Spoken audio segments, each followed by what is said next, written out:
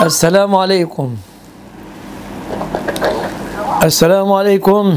وعليكم السلام ورحمة الحمد لله. آه، كنت عاوز أسأل عن الجنة حلال ولا حرام؟